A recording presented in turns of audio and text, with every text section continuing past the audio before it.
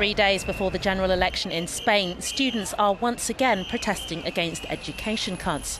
For months, Spanish people have been out on the streets demonstrating against cuts, the privatisation of public services, and the lack of available jobs.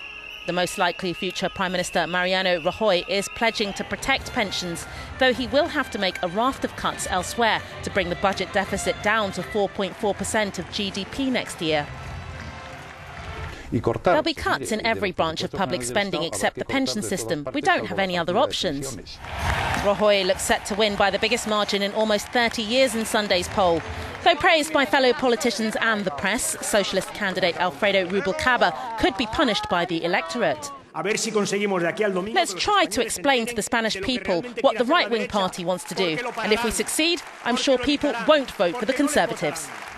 Rubalcaba could be the victim of voter anger at a socialist government that's been pursuing harsh austerity and the belief the Conservatives would manage the economy better.